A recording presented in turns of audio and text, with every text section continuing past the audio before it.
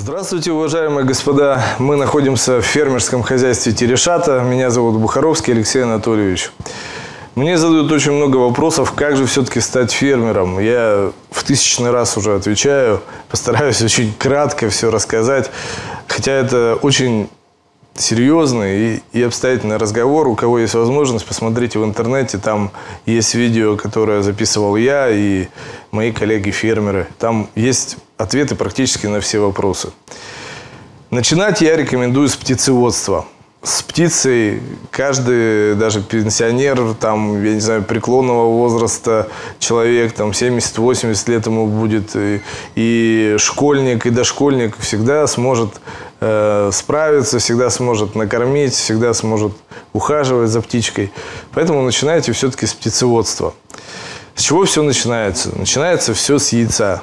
Вечный вопрос, что было первым, яйцо или курица? Я думаю, что все-таки яйцо. Вы можете начать с самого-самого начала. Вот видите, в моих руках яйцо. Это не простое яйцо, а инкубационное. В данном случае, видите, оно маркировано, э, что, что говорит о том, что это яйцо действительно инкубационное, и мы его приобрели для дальнейшей инкубации. Куда вы должны поместить это яйцо?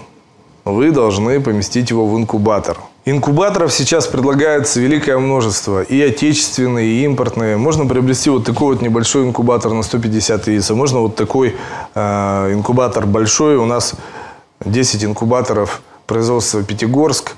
Они вмещают в себя до 770 куриных яиц э, единовременно. То есть начинать нужно, разумеется, с малого. Приобрели вы инкубатор, заложили в него инкубационное оплодотворенное яйцо. Не из каждого яйца получается птенец. Можно поэкспериментировать, заложить яйцо кур, индюков, водоплавающие птицы, уток, гусей. И уже потом вы определитесь, что для вас ближе, что для вас интереснее. Обязательные условия для инкубаторов – заданная температура, заданная влажность. Влажность, она очень влияет на вывод и на количество выводимой птицы. Есть очень много информации в интернете, есть брошюрки по птицеводству. С некоторыми инкубаторами идет подробная инструкция, как закладывать яйцо, сколько дней оно должно там находиться, при какой температуре. То есть информацию вы в любом случае получите. После того, как из яйца у вас появились птенцы, вы должны их пересадить в брудер. Что такое брудер, мы вам сейчас покажем. Это небольшая клеточка с подогревом. Чаще всего для этого используют обыкновенные лампы накаливания. Но в принципе, если у вас еще нет брудера, вы можете взять обыкновенную коробку, повесить сверху лампу, так, чтобы она обогревала внутреннее пространство. И под эту лампу положить птенцов. Э, куры, индюки, утки, значения не имеет. Ну и, разумеется, их нужно будет кормить. Из яиц у вас выведутся птенцы. Вот в руках у меня индюшата, которые вывелись в нашем хозяйстве. Им уже идет третья неделя. Тьфу -тьфу -тьфу Очень быстро растут. Вот. Для того, чтобы они у вас хорошо росли, вам нужно приобрести специальный стартовый корм. Это так называемый цыплячий корм. Э, большое количество этого комбикорма производится у нас в Богдановиче, в Свердловской области. Ну и в других местах его тоже производят. А потом вы можете кормить птицу также комбикормами.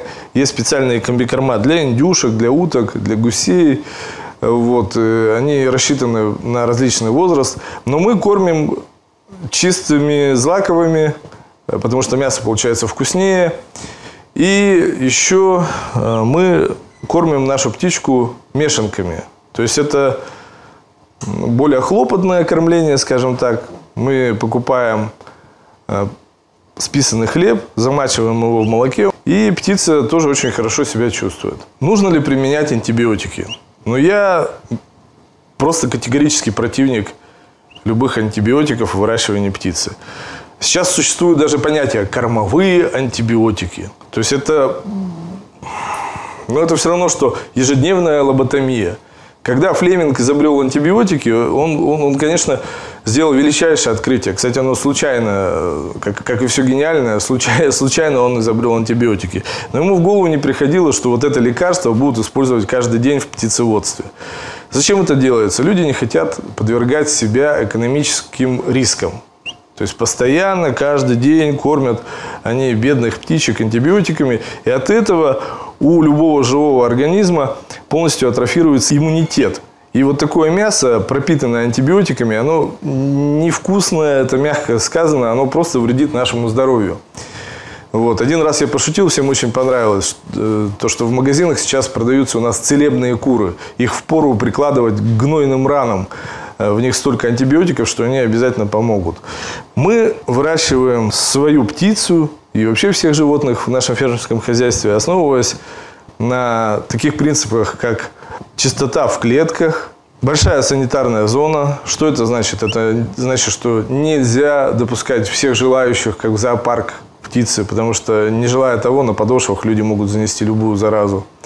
И третье, мы используем пробиотики. Пробиотик – это полная противоположность антибиотику. Это природные вещества. Допустим, сенная палочка. К счастью, сейчас многие ветеринарные препараты основаны именно на пробиотиках. И вот пробиотики вы можете совершенно безболезненно давать птичкам. От этого они просто укрепят свой иммунитет. А антибиотики – это все-таки относительно птицеводства и животноводства – это все-таки зло. Я могу долго об этом говорить, но поверьте мне на слово, мясо, пропитанное антибиотиками, принесет вам вред. Вы можете потерять свой иммунитет. И когда придут серьезные болезни, вам уже даже квалифицированная медицинская помощь и те же антибиотики не помогут. Хотелось бы напомнить то, что все инкубаторы работают с помощью электричества.